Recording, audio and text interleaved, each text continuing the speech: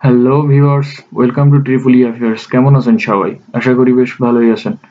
Viewers আজকে আমরা দেখব ঢাকার ভিতরে বিদ্যুৎ বিতরণকারী অন্য একটি প্রতিষ্ঠান সম্পর্কে। ঢাকা ইলেকট্রিক সাপ্লাই কোম্পানি অর্থাৎ ডেসকো সম্পর্কে।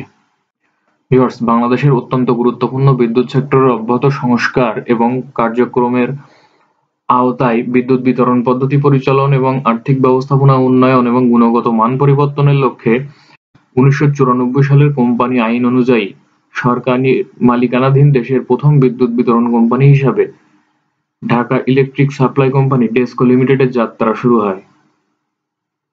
ভিউয়ার্স, এই প্রতিষ্ঠানটি পাবলিক লিমিটেড কোম্পানি হিসাবে গঠিত হয় উনিশশো ছিয়ানব্বই সালের তিন নভেম্বর এবং বাণিজ্যিকভাবে তাদের কার্যক্রম শুরু করে উনিশশো আটানব্বই সালের চব্বিশ সেপ্টেম্বর এবং শেয়ার মার্কেটে অন্তর্ভুক্তি হয় দুই হাজার ছয় সালের আঠারোই জুন।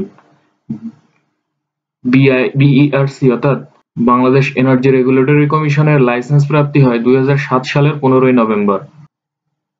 এই প্রতিষ্ঠানটির অনুমোদিত মূলধনের পরিমাণ আছে পাঁচশো কোটি টাকা এবং বিক্রয় বিতরণ বিভাগ আছে ষোলোটি।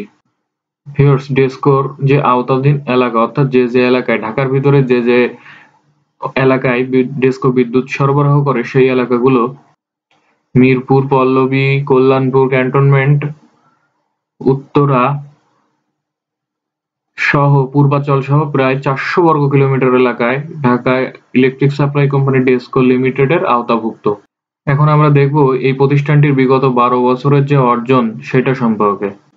ভিউয়ার্স কোম্পানিটি যখন যাত্রা শুরু করে, তার দুই বছর পরে, অর্থাৎ জুন দুই হাজার নয় তাদের গ্রাহক সংখ্যা ছিল চার লাখ পনেরো হাজার আটশো বিয়াল্লিশ জন এবং সেই সংখ্যা জুন দু হাজার একুশে এসে দাঁড়িয়েছে দশ লাখ একাশি হাজার আটশো সাতচল্লিশ জন। প্রিপেইড মিটার বা স্মার্ট মিটার সংখ্যা ছিল নয় হাজার সাতশো পঞ্চান্নটি। এখন সেটি এসে দাঁড়িয়েছে পাঁচ লাখ বাষট্টি হাজার আটশো বিরানব্বইটিতে। প্রতিষ্ঠানটি সিস্টেম লস নয় দশমিক সাত নয় পার্সেন্ট থেকে পাঁচ দশমিক পাঁচ আট পার্সেন্টে কমিয়ে আনতে সক্ষম হয়েছে।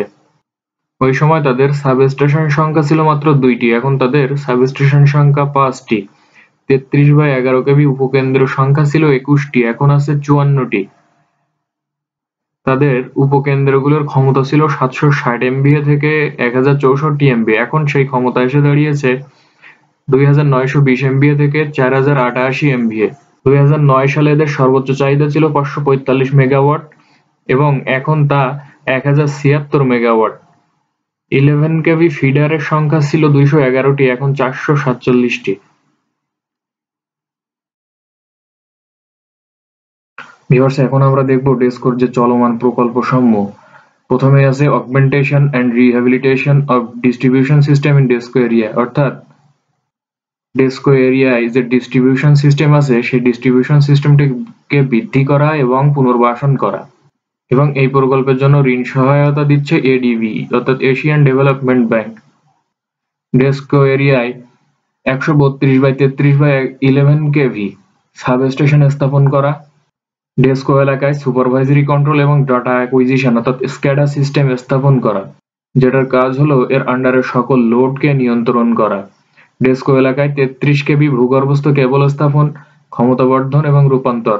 উত্তরা ও বসুন্ধরায় একশো বত্রিশ বাই তেত্রিশ বাই এগারো কেভি গ্রিড উপকেন্দ্রের ক্ষমতাবর্ধন এবং পুনর্বাসন।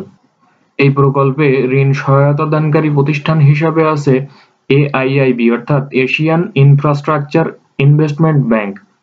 এছাড়া আছে ডেস্কো এলাকায় স্মার্ট প্রিপেইড মিটার সরবরাহ এবং স্থাপন প্রকল্প। ভূগর্ভস্থ একশো বত্রিশ বাই তেত্রিশ কেবি উপকেন্দ্র নির্মাণ। এটা হবে ঢাকার গুলশানে। এর অর্থ সহায়তা দানকারী প্রতিষ্ঠান হিসাবে আছে জাইকা, অর্থাৎ জাপান ইন্টারন্যাশনাল কোঅপারেশন এজেন্সি। টঙ্গীতে তেত্রিশ কেবি সাব স্টেশন এটা ডেসকো নিজস্ব অর্থায়নে হবে। ডেস্কোর প্রধান কার্যালয় ভবন নির্মাণ এবং ডেসকোর জিআইএস ম্যাপিং বাস্তবায়ন, যেটা নিজস্ব ডেস্কোর অর্থায়নেই হবে। এই প্রতিষ্ঠানটির ভীষণ হচ্ছে নিরাপদ, নির্ভরযোগ্য এবং টেকসই বিদ্যুৎ সেবা প্রদানের মাধ্যমে দেশের অর্থনৈতিক উন্নয়ন এবং সামাজিক অগ্রগতিতে সহায়তা করা। এবং মিশন হচ্ছে গ্রাহকগণের জীবনযাপনের স্বাচ্ছন্দ্য আনয়ন ব্যবসা বাণিজ্য খাতে সহায়তা, গ্রাহকগণের নিকট উন্নততর সেবা প্রদান কর্মক্ষেত্রে দক্ষতা অর্জন সহ শক্তিশালী জাতি গঠনে ভূমিকা রাখা এবং ডেস্কোর উপর নির্ভরশীলতার ক্ষেত্রে গ্রাহকগণের আস্থা অর্জন করা। ভিউয়ার্স, এখানে আমরা একটা গ্রাফ দেখতে পাচ্ছি। গ্রাফটাতে আসলে দেখাচ্ছে বিগত কয়েক অর্থ বছরের ঠিক সাপেক্ষে ডেস্কোর যে সিস্টেম লস, সেই সিস্টেম লস সম্পর্কে।